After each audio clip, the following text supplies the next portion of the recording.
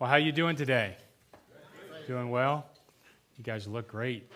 But it is, uh, it is nice to be back. Over two years ago, I got to share with you. Uh, and uh, at that time, I was sharing a principle, a kingdom principle of how God uses us in the marketplace in stealth. And I kind of springboard off my background in nuclear engineering, and I rode fast attack submarines around the world for almost a decade. But the principle was about how God actually positions us all over culture for such a time as this. He takes your unique giftings and your vocation, and when you're just not expecting it, actually positions you in a place, and you need to be ready to act. Uh, but I wanted to stop. I wanted before I even went any further say thank you to Johnson Ferry Baptist Church.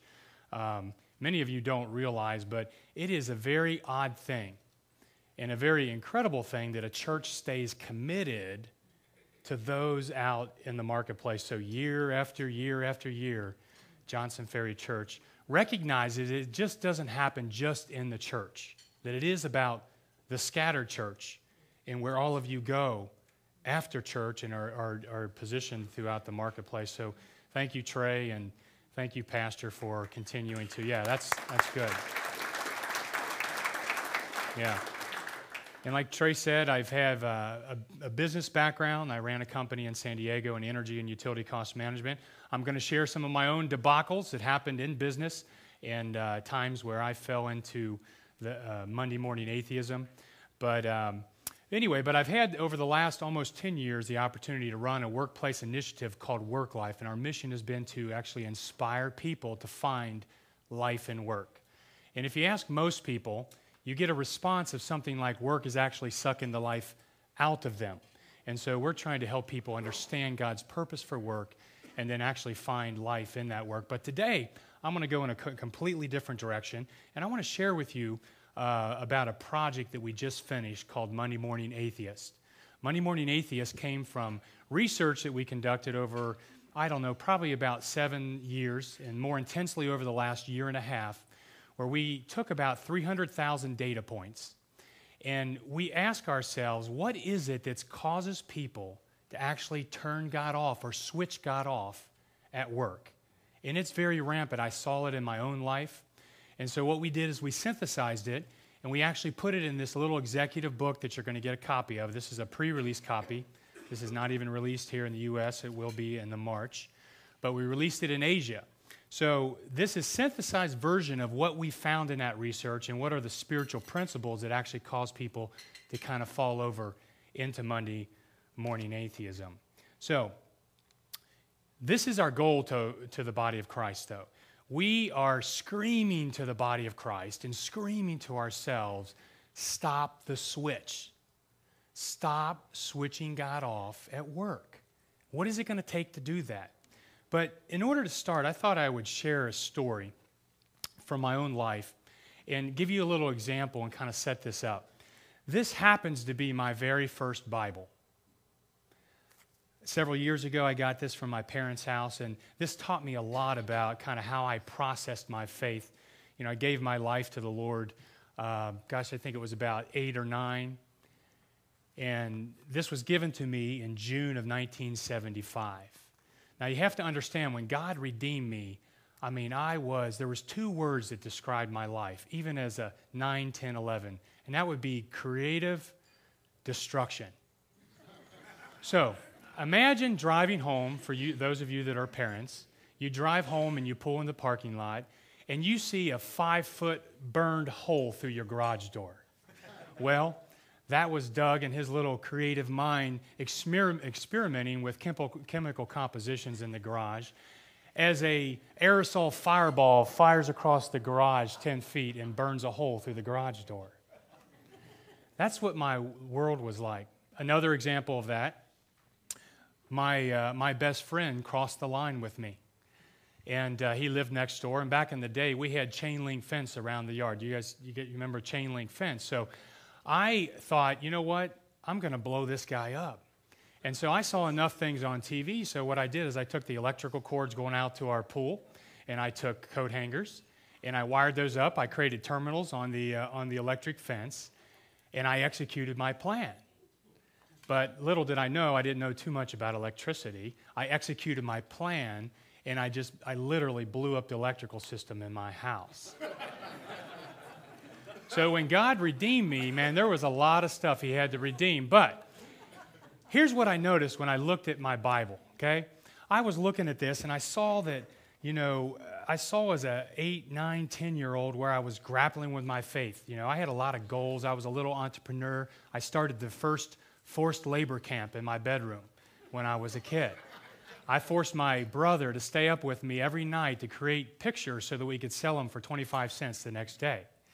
So, anyway, as I grappled and I, I, I gave my life to the Lord and I said, man, what, how is my life supposed to change? Well, I didn't really like what I read in this book. As I looked through this book, I was like, nope, nope, not that one, not this one.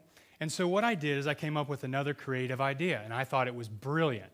And so every time that I came to the Word of God, I can see the ones that I agreed to, but every time I came to the Word of God and I, I found something that I didn't agree with, it kind of got in the way of my plans, my entrepreneurial plans as a little, uh, uh, you know, young man. I, instead, of, instead of trying to conform my life to God's Word and His plan, I thought, you know what? What if I could just change God to conform to me? So, what I did is I would get a marker or a pen, and I would literally cross out the Word of God, not applicable to me. Now, that's funny as a child, but here's the thing that's not so funny. You know, 35 years later, I still see evidences of that in my own life. And I bet you you do too. There's things that I'm challenged with in my own personal life, my character, my work, in which I just choose, either subconsciously or sometimes intentionally, or pressure or money issues, where I just turn God off. I switch him off. I sort of cross him out. And so that, that kind of uh, got me to the point where, and that's kind of sort of where the title of Monday Morning Atheist, that I am a recovering Monday morning atheist. Now, we have to understand everybody knows what the definition of an atheist is, right? The definition of an atheist is someone who does not believe in God. So, the definition of a Monday morning atheist is someone who believes in God, but who works like he does not exist. How many of you have found yourself working like God does not exist? Almost every hand, right? I mean, I can be working, and two hours later, you guys have experienced this. It's like, where's God? I can be, and, and especially if something's pressing in on me. I think about James 1 22 through uh, 25, where it says, Don't just listen to God's word, you must do what it says. Otherwise, you are only fooling yourselves. For if you listen to the word and don't obey, it's like glancing your face in a mirror, and then when you turn away, you forget what you look like. But if you look carefully into the perfect law that sets you free, and if you do what it says, and you don't forget what you heard, then God will bless you. Monday morning atheism is the insidious ability for us to know God and to love God and to believe in God, but to sometimes practice atheism in the way that we work. That brings us to the switch. You guys see the switch, and we're going to kind of see who is actually struggling with Monday morning atheism in the room. Now, don't get quiet because all of us struggle at some point, but you know, God, God wired work in a way that we were supposed to depend upon Him. Now, you know, when you flip a switch off, it only takes eight milliseconds for it to disrupt power through this switch eight milliseconds. So there's all types of different things in our work life. Maybe we're exhausted and out of balance, we're bored, we actually are struggling with sexual temptation, we're angry and critical, or maybe you can't even find a job. There's all types of things that actually cause us to turn off God. And here's the interesting thing some of us, like me, even when things are supposed to be left off, I have a tendency to kind of force them on. And so as you look at this switch, here's how we fight Monday morning atheism. You have to, there's a grounding terminal on here. So everybody grab your switch and actually switch on. All right? All right, I can tell you we already, we already have a problem in the room. All right? Some of you are switching your switch on, but your switch is actually upside down, so your switch is actually off. And that's a typical problem, right? I have that all the time. Sometimes I assume my switch is on until I run into a debacle. But if you look at this switch, there's a grounding terminal. The grounding terminal represents the fact that we have to be grounded to the truth. We have to be grounded to God's truth about our work and our life, and we also have to be connected to the power. Now, the switch represents our heart and the choice that we have to keep God on at work or off. And so, as you think about that, and I wanted to share a little bit of the research that we that we found, I want to I want to do a switch check real fast, okay? So I'm going to throw out a couple issues that that we have seen that cause people to switch off, and I want you to to actually uh, actually switch your switch on or off. You ready? I'm seeking and hearing God when making work decisions. Switch on or off. Any trouble in the room on that? How many switches are off? Okay, we got a couple honest people. All right. what about this? Do you effectively answer tough questions coworkers ask you about God, life, and faith? Switch on or off? How many switches are kind of challenged in that area? How many switches off? Or maybe we just don't even answer questions. What about do I effectively resolve uh, conflict involved in office politics, gossip, slander, favoritism, and unfounded criticism? Switch on, off. Yeah. So you're going to get a chance, you know, at the at the end when we give you this, you're going to you're going to be able to go personally to a, to a website called stoptheswitch.com and actually in the in your own privacy take what we call a work personality profile. And actually it'll show you the key issues that you may be struggling with personally. But I want to share a little bit about our research before we go any further. Um, now, who is affected by Monday morning atheism? I think we we already, uh, we already found out that at times all of us fall into this, into this trap of actually turning God off. There's people like Peter, an IT specialist, he says, I know I shouldn't ignore God at work, but it's just so easy to do here. Does anybody have that when you're in a certain environment? It just, you sort of like a chameleon and it's just, it's just so easy to just kind of blend in and turn God off? Anybody struggle with that? We found out 90% of people are struggling with work life balance and are stressed and discouraged. These are Christians, okay? 61% fail to see kingdom purpose in their work or are unsure about how to talk about Jesus in today's marketplace. Then there's someone like Anne, a marketing consultant. She says, I find myself being two faced at work like everyone else, and I can't seem to stop. We also found only 38% of workers think coworkers see Christ's character in them at work. 49% had any faith oriented conversations with a coworker in the past six months. And only 45 believe that God has strategically positioned them for kingdom impact where they are. And then we have Helen here. She says, I'm around so much conflict, I don't even know how to deal with this. So, the body of Christ and what we've found over the years is the body of Christ has an uh, it just it's all of us can recognize the fact that we sh- we sh- flip God off or switch God off at work. And you know, we have also found that good church members are some of the best Monday morning atheists. Right? We learn. We just read uh, James one. We go to church. We take on board. We hear great teaching. How long does it take for our switch to go off? When does yours go off? Sometime, yeah, right when you leave the church?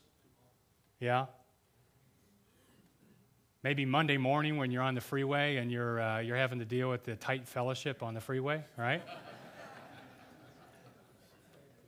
or maybe that first meeting when all of a sudden you've got to just kind of you got to pull it out and all of a sudden you just silently and accidentally the switch goes off well, what we did is from all these data points is we pulled out the three you know, the three false assumptions, the core false assumptions that in the general body of Christ, some of you may not struggle with these, but I'm going to share some of my own examples of how these things have caused me to actually really mess up in life. Really, I lost my family 13 years ago because of character and, and, and work issues. Now, God had healed that, but that was a lights out moment. But you know what? The truth was, my switch was off long before I realized the lights were out. But anyway, these wrong assumptions, they cause big problems. And we've identified three of them. But before I go any further, I took this picture the other day because I was in my garage and I thought, oh man, you know, have you have you noticed that we have an amazing we have an amazing ability as human beings to kind of manage around problems, right? How many of you have broken things in your home, your car? Maybe I know it's probably on your computer, and you just don't have time to fix them, right? And so you just kind of put up with them. Anybody? Right? Doors broken, things like that. Well, the garage door's been my nemesis over the last six months, right? The thing started acting up. I hate garage doors. You know, I can't, you know, and there's there's some short circuit in this thing, but we just kind of put up with it. Okay? Then we'd get in family fights of who's going to get out and go in the garage door and do the photo thing and press it and then run through the house and just and you keep you put up with this broken stuff. You guys do that, right? There's stuff in your house that you do the same thing and you just kind of and then the longer you do that, it sort of just kind of becomes sort of routine and it becomes a part of your life, right? So finally I got fed up and I went down to Home Depot and you know, they paid me to wire, you know, billion dollar nuclear submarines. So I thought, you know, I've got to be able to fix this. And then my wife kind of prodded me saying, you know what, you really ought to just call somebody. And that was like, that was like, that's another problem I'll talk about in a minute. But I thought, I'm not going to call anybody, man. I can, I can wire this thing. So I went down to Home Depot and I got a 100 foot of this bell wire. And I, I'm, I've short circuited things. I've taken all the safety devices out. And guess what? It's working. And my wife says, Is it going to look like that? So this is this is the thing that I'm managing. But we do that in our spiritual life. We do that in our work life. We have these issues. We have these things that we just kind of put up with. What if there was a way that we could actually address those? What if there's a way we could find those things? And I think you're going to be able to do that as you kind of go through Monday Morning Atheist and actually start to look and examine at some of those things. So, anyway, a little bit of electrical theory I'm going to translate over to uh, kingdom principle, okay? Now, most of you know this is Ohm's law. Do you remember this from school? Some of you have seen this. You can kind of move this around. But the current or the flow through our lives, okay? Current is, is, is, current is, uh, is defined as the electrical charge through a conductor. I want you to think of yourself as a conductor in God's hand. God's ability to, throw his, uh, to, to flow his power through you to have incredible impact where He's positioned you, okay? Now, current is equal to voltage divided by resistance, okay? This is the potential energy. This is God's potential to work through you and what He wants to do you. And most of us would admit that that's infinite. I mean, God's ability to actually work in your life and to do amazing things is infinite. Now, here's the variable that gets us it's the resistance. The resistance is defined is the conductor, you and me, the conductor's ability to resist flow. So we know from simple math as the resistance goes up, flow goes down, right? So, what are those areas of resistance? What are those areas that cause our switch to turn off? And so, these are some of the top faith disconnects actually from the, from the research and some of the ones that you'll get to kind of wrestle through as you take the work personality profile. What about I'm unable to manage my time without being distracted by unfocused impulses or becoming a slave to my schedule? Whose switch kind of flipped off there? Right? What about uh, I do not manage stress and discouragement by practicing the principle of rest and recreation? I'm sure everybody here practices the principle of rest and recreation. Whose switch just went off there? Okay? What about I'm not prepared to present the gospel message in a language that is clear, succinct, and jargon free, yet faithful to the scripture? What if we tested everybody's switches? You see, we have these things. We have these things that cause our switch and doesn't allow God's power and His Spirit to flow through us. We have these areas of resistance. So here's the three short circuits that I was telling you that we kind of pulled from the research that are sort of the overarching false assumptions or the, or the biblical lies. The first one is only some of life is spiritual. The second one is one I really struggle with, and it's, it's all up to me. I've got to do it myself. And the third one is my work is just a waste. So I thought I'd spend a little bit of time just overviewing these and giving you a little bit of an example from my own life. This first lie or this first false assumption is something we call spiritual schizophrenia. Now, we know that schizophrenia is a medical kind of psychological condition. It's a disassociation of where we live in kind of two different realities. We're sort of like a chameleon where we, we live this way in one world and then, and then we put on different structure. We turn the switch off and we walk into another spiritual schizophrenia. The Monday morning atheist buys into the false idea that work isn't a spiritual activity at times, and it leads them to think that work and God have little to do with each other. Now, if we were asked, a lot of us, we would say, no, no, no, but our behavior, and that's why it's called Monday morning, because we love God, we want to serve God. And we know the practical things about we spend the majority of our waking hours and we face the majority of our challenges living in our faith. And we already engage in the majority of our relationships where? At work. That's where God wants to flow his power through us. Another way, we call this TV dinner Christianity, right? This looks kind of nasty, but where we kind of segment, we segment our life, right? We have our church life and we have our recreation and we have our work life. You remember when you used to cook these? And, and, uh, and then the stuff would sort of bleed over into each other and sort of mix around. It's kind of like this integrated life that God wants to live. But we call this TV dinner Christianity when we have this ability to sort of segment our lives. But I'm going to share just a little bit of a story with you of, um, and it was a financially tragic story of when I practiced spiritual schizophrenia. I was in business in Southern California. I had an energy and utility cost management firm that I led, and we developed this technology, and uh, it was really cool. But I had a big problem. I, I could not, and we had to really move when we marketed this thing because the utility companies would fight us, and they're like they're big boys, right? So we had to go fast, and I did not have the finance or the capability to actually penetrate the market as fast as we needed before the utility company could respond. So that led me to find some marketers, and I found this organization in Newport Beach, California. And what I did is we started to develop a relationship, and we started to, I, I, we, we, we scoped out some, uh, some intellectual property agreements and stuff so that I could license this technology, and I saw millions. I mean, I was like, this is it. So here's what happened. So we started negotiating this, and I've been up there and back, and we were about ready to finish this thing. I was up there for the last day of negotiations. And nothing's, have you been in those situations where you're trying to work something out and just some, it's not going well? Things are falling apart. All of a sudden, there's a deal point that wasn't on the table, and there it is, and things are just not going well. And my tendency was to keep pushing and keep pushing. Well, I had the voice of the Lord on the other side saying, Stop, stop.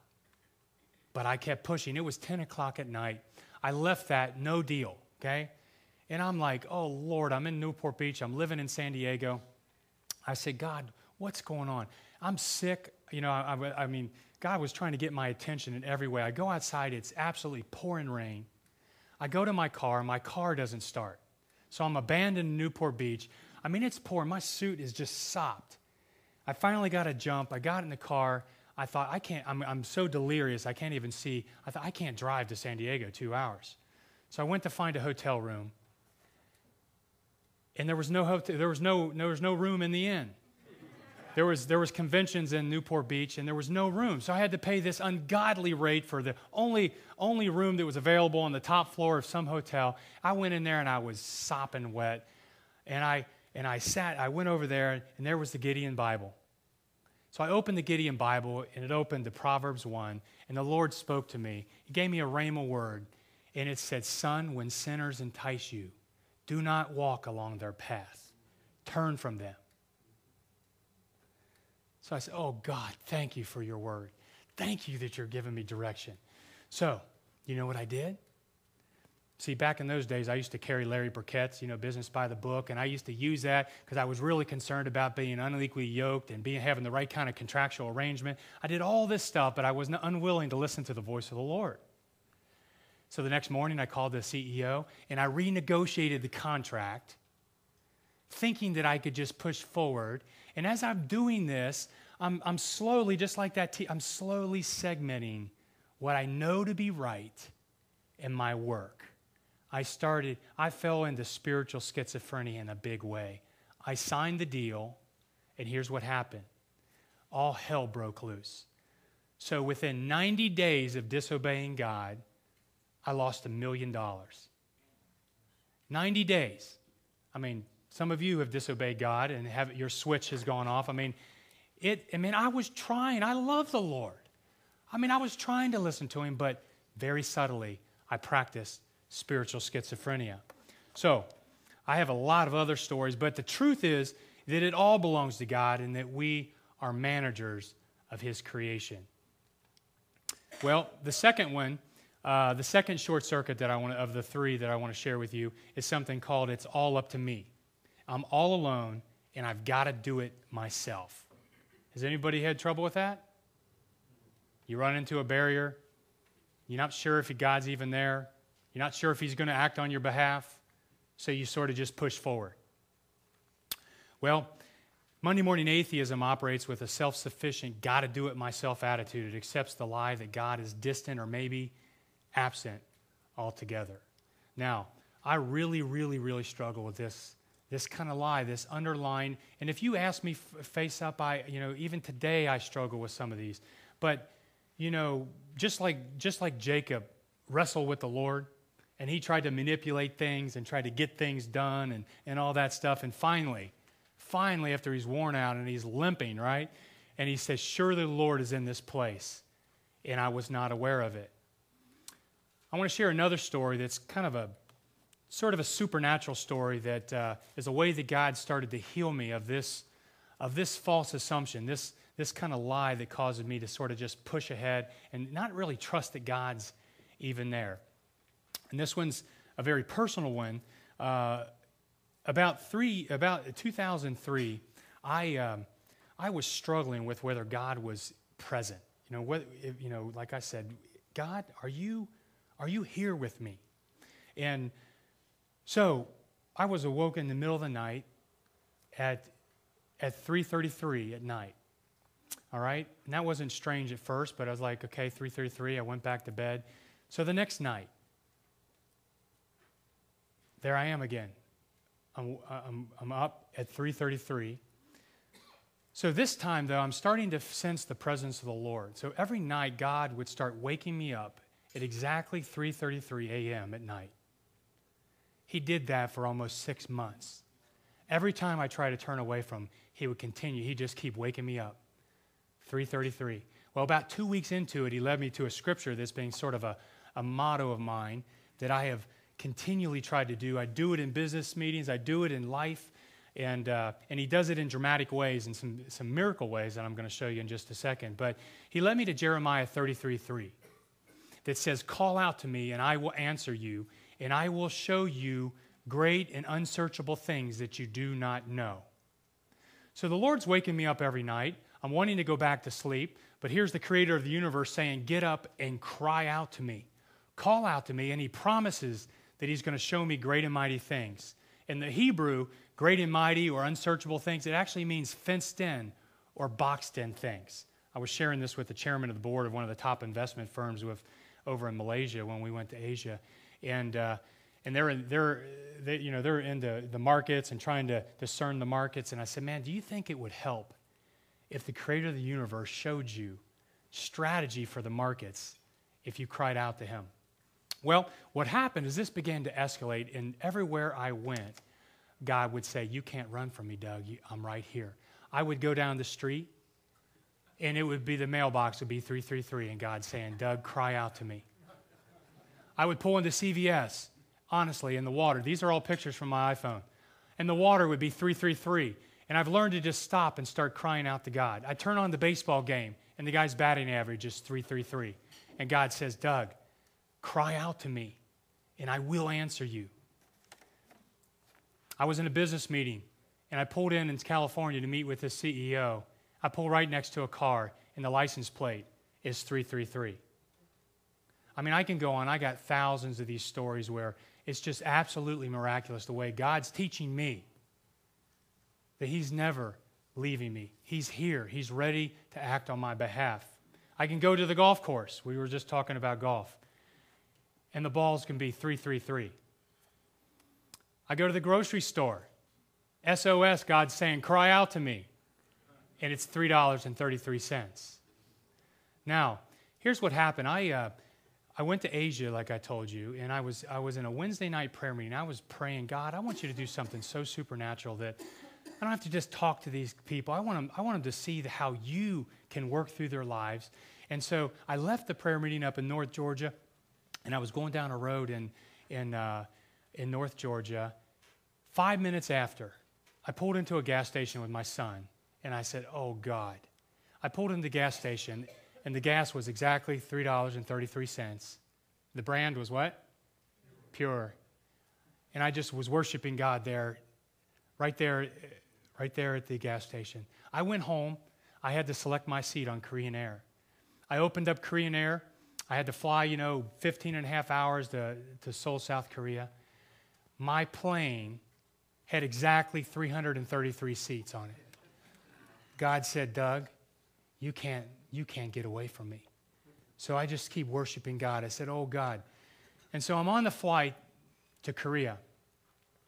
And so I, I actually am I'm about seven hours into the flight, and I start, once God starts doing this, I start getting a swagger. You know, for once, I start trusting God that He really can do it. He can act on my behalf, He can do things in business, He can show up. He wants to, He's waiting for us to ask Him. So I'm on the plane and I, I get a little swagger to me. I said, All right, God, do it again. So I started asking him. I said, Come on, show me, show me your power, God. So I'm on, I have, I'm on, a, you know, I'm on this big plane. I, I'm on the navigation screen. I flip over to another screen and select the music track. And the music track is exactly three minutes and 33 seconds. I said, Okay, God, what else? I flip back we're, we're, we're leveled at 42,000 feet, man. We're way up there. We're up by the North Pole, kind of, you know, coming around.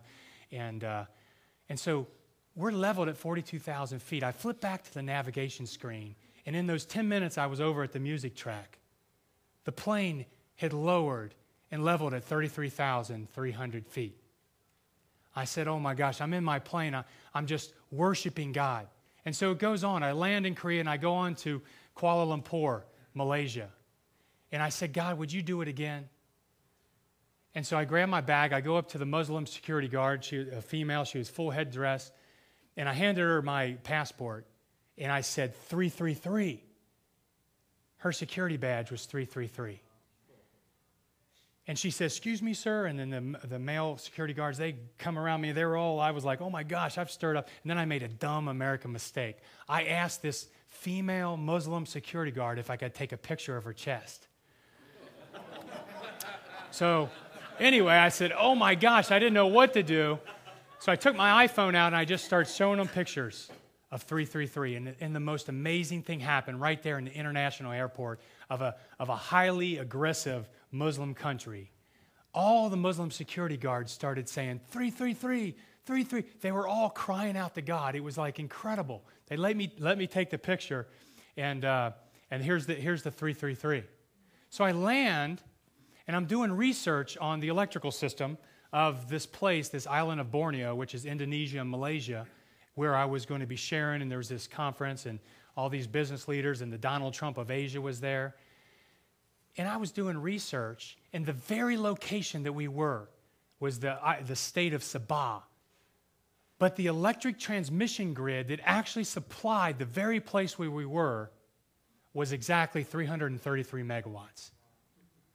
You think God's, I mean, that's how intimate God wants to speak to us and move through us and wants to help us to keep the switch on. I could go on and on. I, I, I, showed up, a guy picked me up. I went to the front. I was getting ready to come into the resort, the front of the resort, 333. So, call, call out to me and I will answer you. The other, the last, uh, the last short circuit is, a, uh, is one, my work is just a waste. And it's just a paycheck for me. And many of us are aware of this one. But Monday morning atheism leads us to believe that the task in our daily work may be worthless in the eyes of God. Now, we know that's not true. And we know that God delights in what we do, and He's designed us uniquely, and He enjoys our work like a father delights in a child. So, in review, the three, the three kind of false assumptions that, that have come from this research have been only some of life is, is, is spiritual. It's spiritual schizophrenia.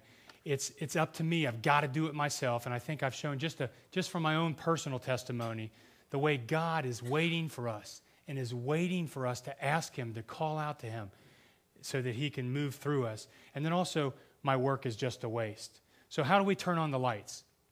Just some practical steps that we can take. Okay? How do we restore the power? Now, we talked about the light switch. We talked about we need to actually stay grounded to the truth and connected to the power. So, what I encourage you to do, Monday Morning Atheist is kind of set up like a five week journey. So, it's a synthesis of what I've been telling you here in the research, but it's very, very approachable. You could read this on the plane, but it's also set up like a five week journey. You could do it in a small group. But we're going to give you one of these out here, which is a pre release copy that we brought back from Asia. And so I encourage you to kind of walk through this and challenge yourself and actually go to, uh, like I said, stop the switch, stoptheswitch.com and actually take the personal profile and find out these areas of resistance that God could enlighten, uh, enlighten you and help you kind of walk. So here's kind of how it works. You take the book and you can go take the profile, and then you're going to get an actual report that's going to be sent to you in email. And then, you, then there's other tools and different things you can do for that. But I hope that just kind of giving you a little bit of overview of what we've learned from this research and what we kind of laid out in Monday Morning Atheist. And maybe there's some of those stories that, that a lot of us, all of us, could actually start taking the opportunity to actually stop switching God off at work. I mean, He's waiting for us, He's waiting to flow through us and do amazing things. I didn't have a chance to tell you half of the things that He's done, the miraculous things He's done through work, through finance, through all kinds of ways. So I just encourage you to stop the switch. So thank you for allowing me to share.